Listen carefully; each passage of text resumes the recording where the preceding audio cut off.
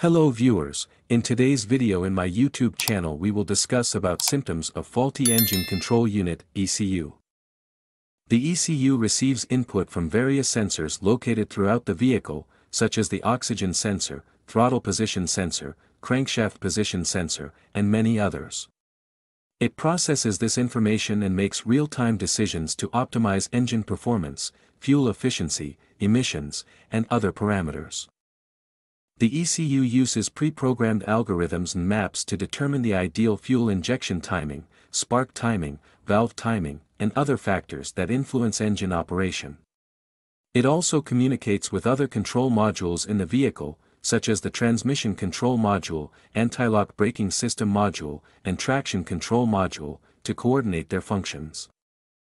How does an ECU work? An ECU is often referred to as the brain of the engine. It is essentially a computer, a switching system and power management system in a very small case. To perform even on a basic level, it has to incorporate four different areas of operation. 1. Input, this typically includes temperature and pressure sensors, on, off signals and data from other modules within the vehicle and is how an ECU collects the information it needs to make decisions. An example of an input would be a coolant temperature sensor, or an accelerator pedal position sensor.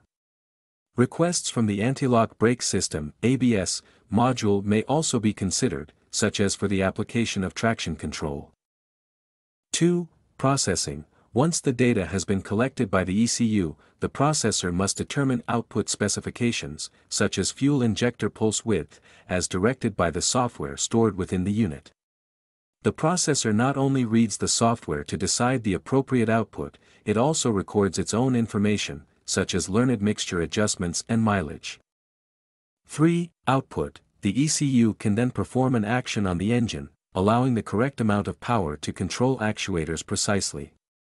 These can include controlling fuel injector pulse width, exact timing of the ignition system, opening of an electronic throttle body or the activation of a radiator cooling fan. 4. Power Management The first stage of ECU operation is power management. This is where various voltages are regulated and the power-up of the ECU is handled. Most ECUs have sophisticated power management due to the variety of components inside, accurately regulating 1.8 volt, 2.6 volt, 3.3 volt, 5 volt, 30 volt and up to 250 volt all from the car's 10 up to 15 V supply. Power management also allows the ECU to have full control over when it powers itself down. The ECU has many internal power requirements for the hundreds of internal components to function correctly. In addition to this, in order for many sensors and actuators to work, the correct voltage has to be supplied by the ECU to components around the car. This could be just a steady 5 volts for sensors, or over 200 volts for the fuel injector circuits. Not only does the voltage have to correct, but some outputs have to handle more than 30 amps, which naturally creates a lot of heat. Symptoms of a bad ECU can vary depending on the specific issue, but here are some common signs to look out for. Number 1. Engine performance issues. A failing ECU can cause various engine performance problems, such as rough idling, misfires, hesitation, or a significant drop in power and acceleration. Number 2 Starting difficulties, the ECU plays a crucial role in the starting process. If it fails or malfunctions, it can result in difficulty starting the engine or a complete failure to start. Number 3 Poor fuel efficiency, a malfunctioning ECU may disrupt the engine's fuel management system, leading to decreased fuel efficiency and increased fuel consumption. Number 4 Illuminated warning lights, a bad ECU can trigger the illumination of the check engine light, CL, or other warning lights on the dashboard. These lights indicate that the ECU has detected a fault or malfunction in one or more systems. Number 5 Erratic or incorrect sensor readings. The ECU relies on accurate sensor data to make appropriate adjustments.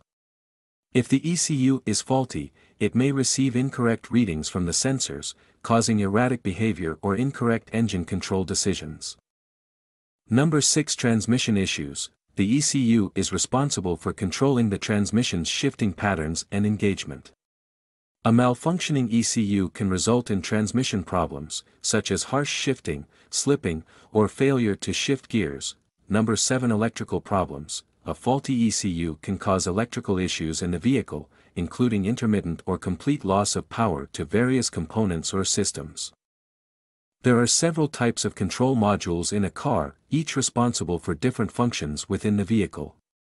Some common types of control modules include 1. Engine Control Module, ECM The ECM, also known as the Engine Control Unit, ECU, is responsible for controlling the engine's fuel injection, ignition timing, and other essential functions to ensure optimal engine performance and efficiency.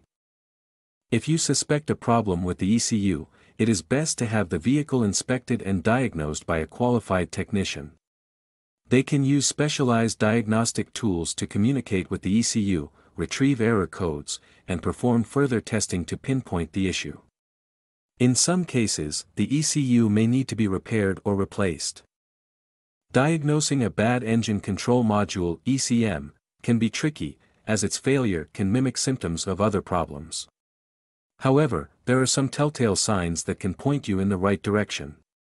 Here are some steps you can take to diagnose a bad ECM. 1. Check for error codes. The ECM stores error codes that can help diagnose problems with the engine and other systems. You can access these codes using an OBD2 scan tool. 2. Look for common symptoms. Several common symptoms can indicate a failing ECM, including engine stalling or sputtering, this can be caused by the ECM not receiving accurate data from the sensors or sending incorrect signals to the engine, difficulty starting the engine, this can happen if the ECM is not able to properly control the ignition system. Rough idling, this can be caused by the ECM not being able to properly control the air-fuel mixture. Reduced fuel efficiency, this can be caused by the ECM not being able to optimize engine performance, dashboard warning lights, many warning lights on your dashboard are controlled by the ECM. If you see several lights, come on at once, it could be a sign of a problem with the ECM. 3. Perform a visual inspection, in some cases, you may be able to see signs of damage to the ECM, such as burns or cracks. However, this is not always the case. 4. Test the ECM, if you suspect that the ECM is bad, you can have it tested by a professional mechanic.